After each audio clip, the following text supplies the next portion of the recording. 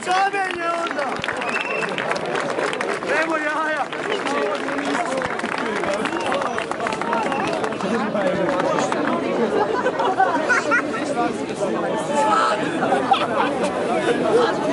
Glasnije!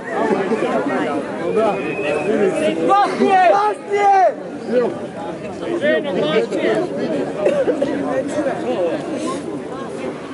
I ja sam za to.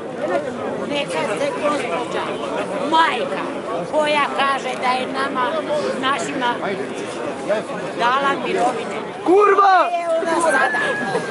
Nek ona kaže gdje je ona sada. Dobro jede. Pokrala stan drugoga kontejnerima, Uživa u fotelji!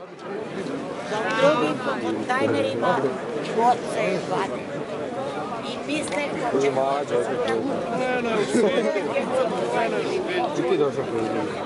Ja vas lijepo molim, nemojte praviti ništa, jer to je sve naše. To smo mi poslije rata. Gdje su naši zaposleni? Gdje su umirovljenici? Gdje su, omladina, studenti, naši učenici, naši djeca, naši vrtići, gdje su? U Zagrebu! Jebem ja mater! A Hrvatska je natopljena u ovom krviju! Sramota može biti! Nička i materina! Jebem ja mater!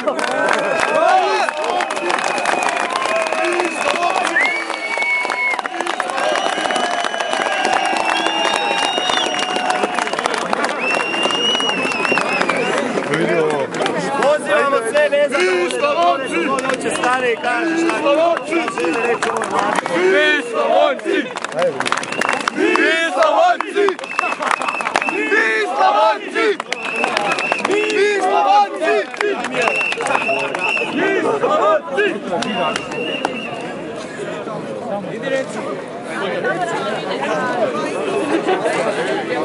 Jure Matković, čep. A